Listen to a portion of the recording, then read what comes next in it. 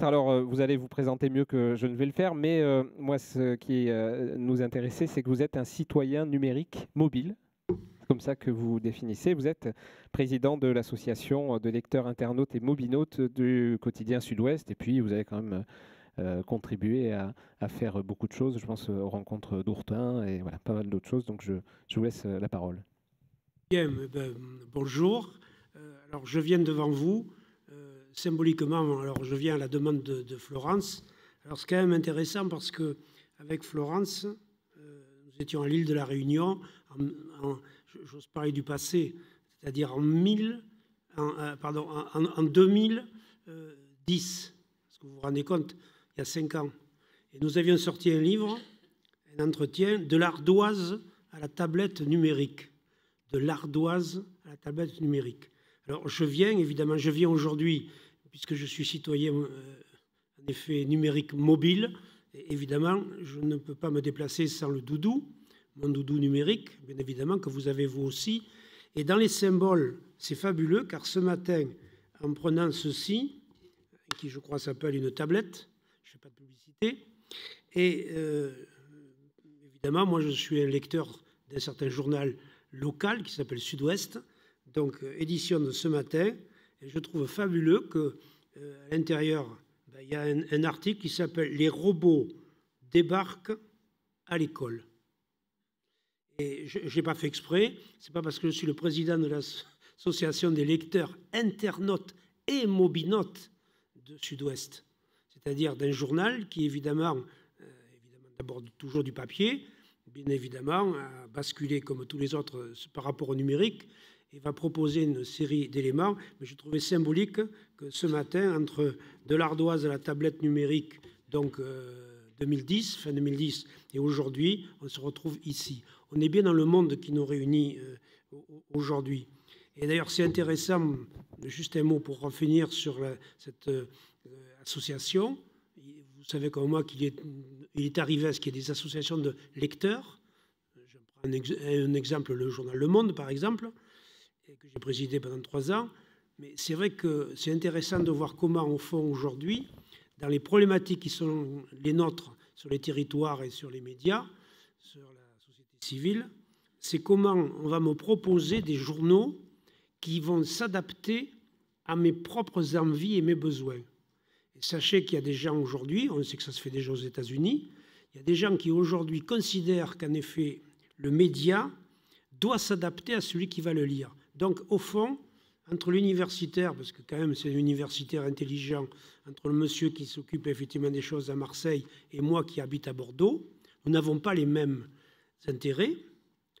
Donc, en conséquence, on va, mais ce n'est pas de la fiction, c'est aujourd'hui étudié, nous proposer à tous les trois, symboliquement, si nous étions avec un seul journal, le même jour, à la même heure, des contenus différents vont correspondre à monsieur, à monsieur et à moi.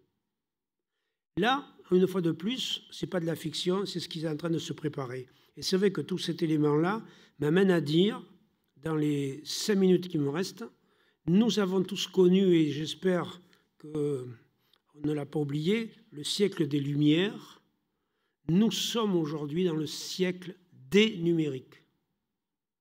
Je sais bien que c'est facile de faire ce type de comparaison, mais je pense que formellement, c'est quelque chose que nous devons prendre en compte.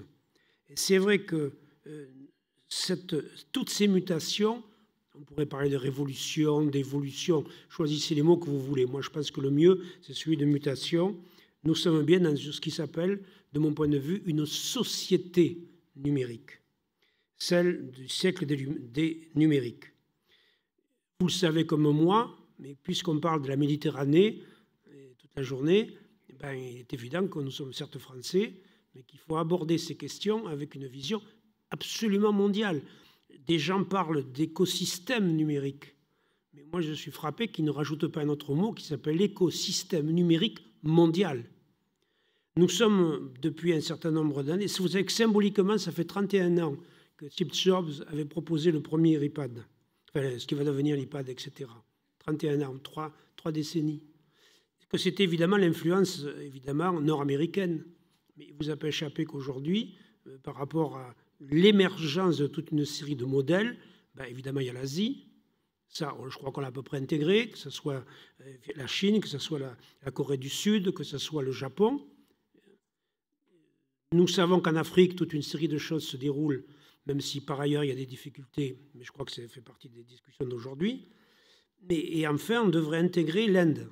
Moi, ce qui me frappe, c'est par rapport aux décideurs d'aujourd'hui, ceux qui ont envie, comme vous l'avez rappelé, de traiter des questions par rapport à la société, on devrait s'intéresser à ce que proposent les gens qui, pardon de le dire ainsi, inventent au niveau de l'Inde. Il ne vous a pas échappé non plus qu'il y avait des décalages, non pas horaires, mais ce qui fait que ça tourne 24 heures sur 24. Il ne vous a pas échappé non plus par rapport justement au territoire et par rapport à l'information que tout acte social, individuel ou collectif, tout acte est en définitive touché, que ce soit la santé, le travail, le transport, l'éducation, la culture, la politique, l'intime, l'information, etc. Et puis je pourrais prendre des, points de suspension, des points de suspension. C'est cet élément-là. Il ne vous a pas échappé aussi, ça a déjà été dit par euh, euh, notre ami, sur le fait suivant, c'est qu'en définitive, tout cet élément-là, parce que c'est au fond nous les acteurs, et moi je rajoute le mot actif en fait de cette société, eh bien évidemment, elle touche tout, que ce soit l'hôpital, que ce soit les écoles, évidemment on va reparler, que ce soit les églises, enfin bref, tous les éléments. Et c'est vrai que le point tout simple, c'est d'en rester maître. On n'est pas DiCaprio sur le Titanic qui veut être euh, resté maître du monde, mais plaisanterie mise à part, c'est exactement la question, je ne vais pas dire politique, mais sociale qui se passe aujourd'hui, de rester maître de toute cette évolution. En un mot, il me reste trois minutes, ben, ça veut dire qu'il n'y a plus de rupture par rapport aux individus.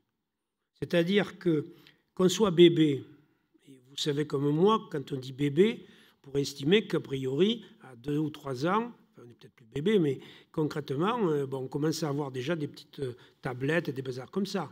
Mais je ne parle pas que de ça. Je dis qu'effectivement, on peut avoir exactement 15 euh, jours et déjà, pardon de le dire ainsi, on a une puce électronique. Si, j'étais provocateur, au fond, nous sommes dans une société où si on a un chat, ou si on a un chien, et si on a un bébé, la société numérique que nous vivons aujourd'hui fait qu'avec ces outils, de ces objets connectés, des individus connectés, et vous savez bien comme moi qu'on pourrait multiplier les exemples, nous sommes au cœur de ce qui se déroule aujourd'hui. L'autre élément suivant, c'est le fait que la mobilité partout. Vous, avez, vous savez comme moi que la voiture sans conducteur, entre guillemets, individu, elle existe. Elle a déjà été testée aux États-Unis.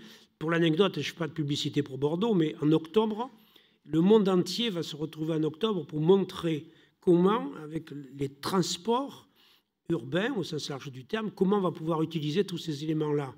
Et moi, je souris beaucoup quand je connais, pour arriver dans Bordeaux, sur la rocade, où on nous a promis de faire des démonstrations sur la rocade de Bordeaux avec effectivement des, voitures euh, sans chauffeur. Je prends presque un dernier exemple. Je suis fatigué, je suis un peu vieux, j'ai besoin de manger des pilules et que tous les 6 heures, je dois avaler une pilule. Sans plaisanterie, vous savez que si au bout de 5 euh, minutes, je n'ai pas récupéré ma pilule, je vais recevoir un coup de fil. C'est-à-dire que la pilule que j'ai ingérée dans mon corps, j'ai l'air de plaisanter, mais je ne plaisante pas, va m'appeler pour me rappeler qu'effectivement, il faut que j'ingère la pilule six heures après. Et si je ne réagis pas, la même pilule, entre guillemets, vous voyez bien tout ce qu'il en est par rapport au réseau, va appeler mon toubib ou une infirmière. Voilà, nous sommes dans le monde d'aujourd'hui, et pour en terminer presque, puisque effectivement, je pourrais avoir des choses à dire encore, mais moi, il me semble que on est bien sur des hypothèses par rapport aux médias.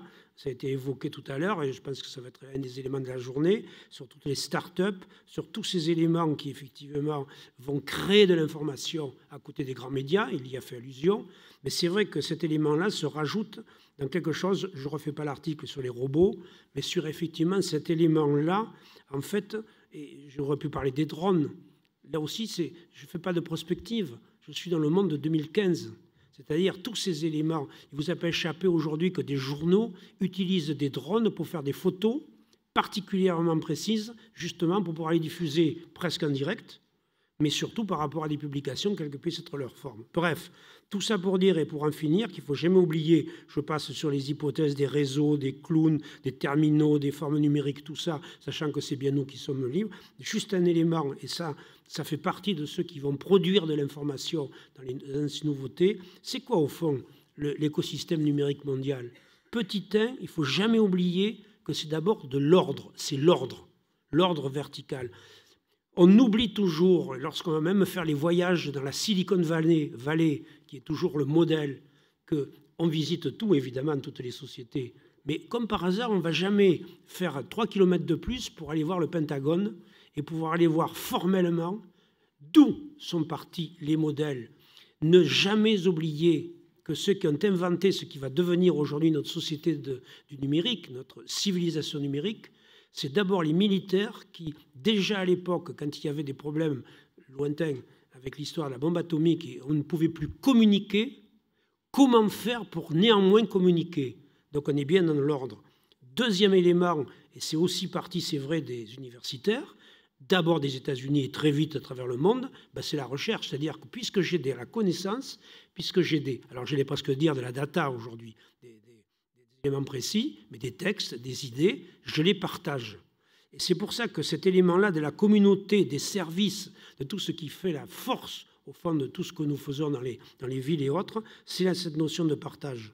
Troisième élément, et je ne refais pas le coup de 1968, euh, ça fait un peu loin, mais c'est cette notion, il ne faut jamais oublier ça non plus, c'est la notion de liberté par rapport à ce monde du numérique. Et c'est vrai que les logiciels libres, les ouvertures politiques sur les pays du, Maghreb, je crois qu'il va, y avoir des allusions. Mais c'est quoi au fond? Au-delà de l'ordre, au-delà effectivement du partage, ben, c'est cette notion de liberté, de liberté de la société. Puis je vais arrêter en parlant de l'entreprise évidemment et de la production. Il y a aussi un point qu'on ne va pas évoquer, j'en suis persuadé, au-delà parce que ça ne se fait pas. Mais en réalité, c'est le capitalisme. On parle d'économie, mais en réalité, vous avez échappé dans le monde qui va être le nôtre, qui est le nôtre et qui va être le nôtre, mais qui aujourd'hui a le pouvoir entre guillemets économique? Quelles sont les plus grandes sociétés? Et je ne fais pas que le coup des GAFA, évidemment les, les quatre grandes, qui sont aujourd'hui, vous le savez comme moi, en bourse, bien plus fortes que d'autres sociétés. Je ne parle pas que des sociétés françaises. Intéressons-nous par ailleurs à celles qui viennent de Chine et d'Inde par rapport à ce mécanisme-là. Et enfin, dernier point, eh ben, il ne faut jamais oublier que tout ce qui va être traité aujourd'hui, c'est du pouvoir. C'est au fond, pour employer un mot qu'on n'emploie pas souvent, c'est de l'idéologie, ce que nous allons faire. C'est-à-dire comment, dans une ville, dans un quartier, dans un territoire, comment je vais rééquilibrer une série de choses par rapport aux évolutions et aux changements. Et là, ben, c'est les contenus, évidemment, c'est les services, c'est les usages, cela va sans dire. Et tous ces éléments-là, en définitive, nous amène à faire, alors je ne dirais pas de la politique, même si je pourrais, mais en gros, quand on traite de ce qui va nous réunir jusqu'à 5 heures, c'est toutes ces valeurs. C'est cette complexité des valeurs qui fait le sel de l'intérêt de notre réflexion. C'est